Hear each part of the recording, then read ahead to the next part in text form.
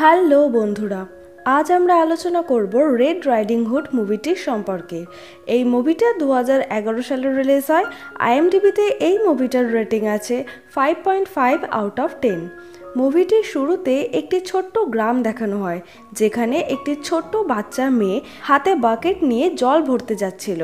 আর কিছু লোক এক জায়গায় আগুন জ্বালিয়ে একটি পশুকে বলি দেবার ব্যবস্থা করছিল এক নরখাদকের জন্য। বাচ্চা মেয়েটির নাম ভ্যালেরিন। ভ্যালেরিন তার বাকেটে জল ভরছিল, তখনই সেখানে তার বন্ধু পিটার আসে। ভ্যালেরিন বাকেটটি ওখানেই রেখে পিটারের সাথে চলে যায়।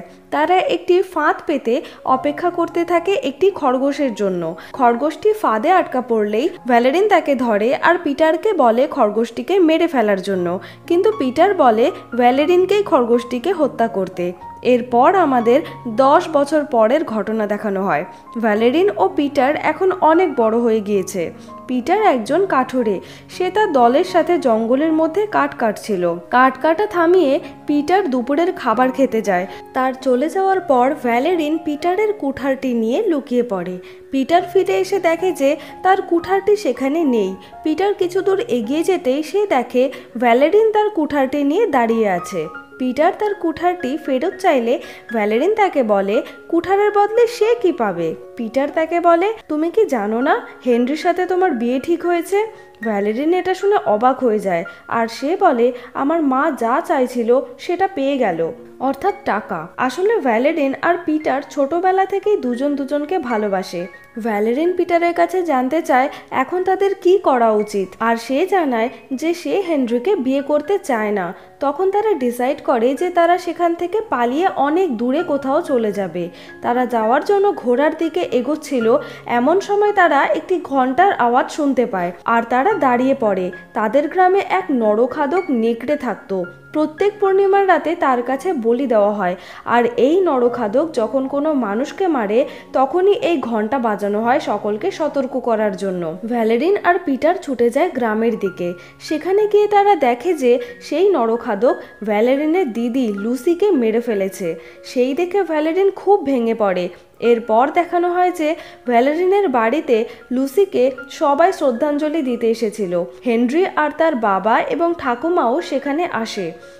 তখন ভ্যালেরিনের মা ভ্যালেরিনকে বলে যে হেনরির সাথে তার বিয়ে ঠিক করা হয়েছে। ভ্যালেরিন রাজি না হওয়াতে তার মা তাকে বোঝায় যে তাদের বিয়ের আগে তার মা অন্য একজনকে ভালোবাসত। কিন্তু ভ্যালেরিনের বাবার সাথে বিয়ে হওয়ার পর সে তাকে ভালোবেসে ফেলেছে। এরপর হেনরি তার বাবা আর ভ্যালেরিনের বাবাকে নিয়ে বাইরে বেরিয়ে আসে। তারা গ্রামের বাকি পুরুষদের সাথে একত্রিত হয়ে ঠিক করেন যে তারা ওই নরখাদকটিকে মেরে ফেলবে। কারণ যুগ যুগ ধরে ওয়ারওয়ুলফের সাথে চুক্তি ছিল যে প্রত্যেক পূর্ণিমার রাতে একটি পশু তাকে দেওয়া হবে, আর এর পরিবর্তে সে কোনো মানুষের ক্ষতি করবে না। কিন্তু এখন এই শান্তি নষ্ট হয়েছে, তাই তাকে মেরে ফেলাটাই ঠিক হবে। সবাই এতে রাজি হয়, কিন্তু তাদের মধ্যে একজন বলে যে, সে ফাদার সুলেমানকে খবর পাঠিয়েছে এবং তিনি এখানে আসছেন। ফাদার সুলেমান একজন উইচ হান্টার ছিলেন। তিনি এরকম অনেক নরখাদক ও উইচের শিকার করেছেন। কিন্তু গ্রামের লোকেরা তার জন্য অপেক্ষা না করেই নরখাদকটিকে মারার জন্য বেরিয়ে পড়ে। এদিকে ভ্যালেরিন ভাবছিল লুসি কেন সেই পূর্ণিমার রাতে বাইরে বেরিয়েছিল। তখন হেনরির ঠাকুমা তাকে জানায় যে লুসি হেনরিকে পছন্দ করত। আর ভ্যালেরিনের সাথে হেনরির বিয়ের কথা শুনে সে দুঃখ পেয়ে নরভক্ষীর কাছে নিজের প্রাণ বলিদান দিয়েছে। এটা শুনে ভ্যালেরিন খুব আপসেট হয়ে পড়ে। ভ্যালেরিন শুনতে পায় সবাই নরভক্ষীকে মারতে যাচ্ছে। তাই সে পিটারের সাথে দেখা করতে যায়। কিন্তু তখন পিটার তার সাথে সমস্ত সম্পর্ক ভেঙে দেয়। কারণ পিটার যখন লুসিকে শ্রদ্ধাঞ্জলি দিতে গিয়েছিল, তখন ভ্যালেডিনের মা তাকে বলেছিল, সে কখনোই ভ্যালেডিনকে খুশি রাখতে পারবে না তার এই অল্প রোজগারে। কিন্তু হেনরির অনেক টাকা আছে, তাই সে ভ্যালেডিনকে অনেক খুশি রাখবে। শিকারে যাওয়ার আগে হেনরিও ভ্যালেরিনের সাথে দেখা করে তাকে একটি ব্রেসলেট গিফট করে। এরপর সবাই বেরিয়ে পড়ে নরভক্ষীর গুহার উদ্দেশ্যে। আর ভ্যালেরিনও তাদের পেছনে যেতে থাকে। যাওয়ার পথে ভ্যালেরিনের বাবা তার মায়ের সাথে দেখা করতে যায়। ভ্যালেডিনের ঠাকুমা গ্রামের বাইরে নির্জন জঙ্গলে একা বাস করত। তারা চলে যাওয়ার পর ভ্যালেডিন তার ঠাকুমার বাড়িতে পৌঁছায়। তিনি ভ্যালেডিনকে একটি রেড হুড পরিয়ে দেন। এদিকে গ্রামবাসীরা নরভক্ষীর গুহার কাছে পৌঁছায়। গুহার ভিতরে রাস্তাটি দুটি ভাগে বিভক্ত ছিল, তাই তারা দুটি দলে ভাগ হয়ে যায়। পিটার, হেনরি, হেনরির বাবা এবং আরও দুজন একটি দলে ছিল। কিছু দূর যাওয়ার পর গুহার রাস্তাটি আবারও দুটি ভাগে বিভক্ত হয়ে যায়। তাই পিটার দলটিকে দুভাগ হয়ে এগোতে বলে। হেনরি তার বাবার সাথে একদিকে এগিয়ে চলে আর পিটার বাকি দুজনকে নিয়ে অপর রাস্তায় যায়। কিছু দূর যেতেই সেই নরখাদক নেকড়েটি হেনরির বাবার ওপর হামলা করে এবং তাকে মেরে ফেলে। এদিকে ভ্যালেরিন ঘুমের মধ্যে খারাপ স্বপ্ন দেখে তার ঘুম ভেঙে যায়। সে গ্রামে গিয়ে দেখে, নেকড়েকে মেরে তার মাথা কেটে ঝুলিয়ে রেখে সবাই সেলিব্রেট করছে। অপরদিকে সে দেখতে পায়, হেনরির ঠাকুমা তার ছেলের ডেড বডি নিয়ে যাচ্ছিল। ভ্যালেরিন হেনরির কাছে যায় শোক প্রকাশ করার জন্য। ফেরার সময় সে দেখতে পায়, তার মা হেনরির বাবার মৃত্যুতে খুব কাঁদছে। ভ্যালেরিন বুঝতে পারে যে তার মা যাকে ভালোবাসত, সে আসলে হেনরির বাবাই ছিল। ভ্যালেরিন তার মায়ের কাছে জানতে চায়, তারা কেন লুসির সাথে হেনরির বিয়ে দিতে চায়নি। তখন তার মা তাকে জানায় যে হেনরি আর লুসির বাবা একজনই ছিলেন। ভ্যালেরিনের মা তাকে বলে, সে যেন এই কথা তার বাবাকে কখনো না জানায়। তখন সেখানে এসে পৌঁছায় ফাদার সুলেমান আর তার সৈন্য। সে সেই নেকড়ের মাথাটি দেখে বলে যে এটি সেই নরখাদক নেকড়ে নয়, কারণ ওয়্যারওয়ুলফ মৃত্যুর সময় মানব রূপে ফিরে আসে। এটা তো একটা সাধারণ নেকড়ে, কিন্তু সুলেমানের কথা কেউ মানতে চায় না। তারা বলে, তারা নেকড়েটাকে মেরেছে, আর এটাই আসল নরখাদক নেকড়ে। ফাদার সোলেমান গ্রামের সবাইকে খুনি চাঁদের সম্বন্ধে বলেন। তিনি বলেন ১৩ বছরে একবার এই খুনি চাঁদ উদয় হয় আর এই সময় ওয়্যারওয়ুলফের জন্ম হয়। সাধারণ পূর্ণিমার দিন ওয়্যারওয়ুলফ কামড়ালে মানুষ মারা যায়, কিন্তু এই খুনি চাঁদের সময় কামড়ালে, যাকে কামড়ায় সেও ওয়্যারওয়ুলফে পরিণত হয় এবং এই চাঁদ তিন দিন থাকে। সুতরাং গ্রামের সবাইকে এই তিন দিন খুব সাবধানে থাকতে হবে। সে গ্রামের প্রতিটি ঘরে নাকাবন্দি করতে বলে, কিন্তু গ্রামবাসীরা এতে রাজি হয় না। তারা বলে, আজ রাতে তারা জলসা করবে ওল্ফ মারা যাওয়ার খুশিতে। রাতে সবাই জলসাতে আনন্দ করছিল। তখন হেনরি এসে পিটারের সাথে ঝামেলা করে।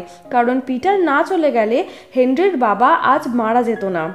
তাদেরকে থামাতে ভ্যালেরিন আসলে হেনরি তাকে ধাক্কা দিয়ে সরিয়ে দেয়। আর এই দেখে পিটার খুব রেগে গিয়ে হেনরিকে মারতে যায়। ভ্যালেরিন পিটারকে আটকায়। পিটার আর হেনরি দুজনই সেখান থেকে চলে যায়। ভ্যালেরিন পিটারের কাছে যায় তার সাথে কথা বলতে। তারপর তাদের আবারও প্যাচ আপ হয়ে যায়। ভ্যালেরিন খুব খুশি ছিল, তাই সে আবারও জলসায় ফিরে আসে। তখনই সেই ওয়ারওয়ুলফটি সবার উপর হামলা করে। ফাদার সুলেমান আর তার সৈন্যরা অনেক চেষ্টা করে নরখাদকটিকে ধরার জন্য, কিন্তু তারা ব্যর্থ হয়। ওয়ারওয়ুলফটি ভ্যালেরিনের কাছে গিয়ে তাকে বলে, সে ভ্যালেরিনকে নিতে এসেছে। তারা এই গ্রাম ছেড়ে অনেক দূরে গিয়ে থাকবে। ভ্যালেরিন প্রথমে খুব অবাক হয় যে ওয়ারওয়ুলফটি তার সাথে কথা বলছে কীভাবে, আর সে ওয়ারওয়ুলফের সাথে যেতে রাজি হয় না। ওয়্যারওয়ুলফটি ভ্যালেরিনকে বলে, সে যদি তার সাথে না যায়, তাহলে সে গ্রামের সবাইকে মেরে ফেলবে। তখনই সেখানে সুলেমানকে আসতে দেখে ওয়্যারওয়ুলফটি চলে যায়, আর ভ্যালেরিনকে বলে যায় যে, সে আবারও আসবে এই খুনিচাঁদ থাকাকালীনই। ভ্যালেরিনকে ওলফের সাথে কথা বলতে দেখে রোকসেন খুব অবাক হয়। ভ্যালেরিন তাকে বলে যে, সে যেন এই কথাটা কাউকে না জানায়। কারণ এসব জানতে পারলে সবাই ভ্যালেডিনকেই ডাইনি ভাববে। পরদিন সকালে গ্রামের সকলে নিজেদের পরিবারের মানুষদের মৃতদেহ দেখে কান্না করছিল। ফাদার সুলেমান বলেন যে, এই ওলফটি খুবই শক্তিশালী। এত শক্তিশালী ওয়ারওয়ুলফ তিনি এর আগে কখনো দেখেনি সে বলে ওয়ারওয়ুলফকে মানুষের রূপেই ধরতে হবে। তাই সে তার সেনাকে গ্রামের সবার বাড়ি সার্চ করতে বলে। অন্যদিকে পিটার ভ্যালেরিনের সাথে দেখা করতে যায়। সে ভ্যালেরিনকে বলে যে, গ্রামে এখন তারা সুরক্ষিত নয়, তাই সেখান থেকে চলে যাওয়াই তাদের জন্য ভালো হবে। কিন্তু ভ্যালেরিন এতে রাজি হয় না, তাই সে চলে যায়। ভ্যালেরিন পিটারের চোখগুলো ভালো করে দেখছিল যে পিটারই সেই ওয়ারওয়ুলফ কিনা। ঘরে ঢুকতেই তার ঠাকুমাকে হঠাৎ দেখে ভ্যালেরিন চমকে যায়। সে দেখল তার মাকে ওয়ারওয়ুলফ আচর মেরেছে। তাই সে অসুস্থ হয়ে পড়েছে। ভ্যালেরিন তার ঠাকুমাকেও সন্দেহ করে। সে ঠাকুমাকে বলে যে, সে নরখাদকটির সাথে কথা বলেছে আর নেকড়েটি তাকে নিজের সাথে যাওয়ার জন্য বলেছে। ভ্যালেরিনের ঠাকুমা একটু অবাক হয় আর তাকে বলে, এই কথা কাউকে জানাতে না। ভ্যালেরিন কথা বলতে বলতে ঘরের জানলা খুলে দেয়। এই ভেবে যদি তার ঠাকুমাই ওয়ারওয়েলফ হয়, তাহলে খুনি চাঁদের আলো তার ওপর পড়লে তার চেহারার পরিবর্তন হবে। কিন্তু কিছুই হলো না দেখে ভ্যালেডিন স্বস্তি পায়। সে জল আনতে বাইরে গেলে হেনরি তার সাথে দেখা করে বলে যে সে ভ্যালেরিন আর পিটারকে একসাথে দেখেছে, আর সে চায় না অনিচ্ছাকৃত ভ্যালেরিন তার সাথে বিয়ে করুক। এদিকে ফাদার সুলেমান রুকসানার ভাই ক্লটকে সন্দেহ করে ধরে নিয়ে যায়। তারা মনে করে যে ক্লট ওয়ারভলফের সম্বন্ধে কিছু জানে। নিজের ভাইকে বাঁচানোর জন্য রুকসান সুলেমানকে বলে দেয় যে, ভ্যালেরিন ওয়ারভলফের সাথে কথা বলতে পারে। তখন সুলেমান ভ্যালেরিনকে বন্দি করে নেয় ওয়ারভলফকে ভ্যালেরিনের দ্বারা ধরার জন্য। এদিকে পিটার আর হেনরি ভ্যালেরিনকে বাঁচানোর জন্য প্ল্যান বানায়। পিটার ভ্যালেরিনের বাবা সিজারের কাছে গিয়ে বলে যে, সে ভ্যালেরিনকে বাঁচাবে আর তাকে বিয়ে করবে।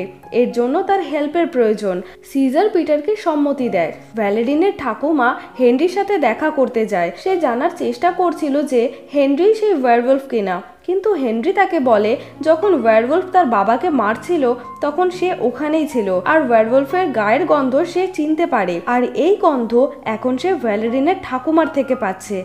ভ্যালেরিনের ঠাকুমা এইসব শুনে ভয় পেয়ে সেখান থেকে চলে যায়। এদিকে ভ্যালেরিনকে বাঁচানোর জন্য ভ্যালেরিনের বাবা কাজ করছিল। তখন ফাদারের সৈন্যরা তাকে গ্রেফতার করে। এবার ভ্যালেরিনকে নিয়ে যাওয়া হয় সেই বলি দেওয়ার স্থানে।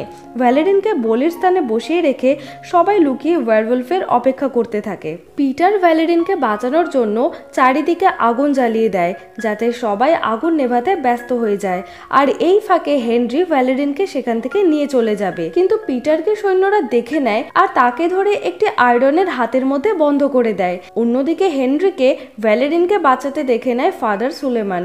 এবং তার সৈন্যরা ওদের তাড়া করে ধরার জন্য। এরই মধ্যে একটি তীর লেগে হেনরি আহত হয়ে যায়।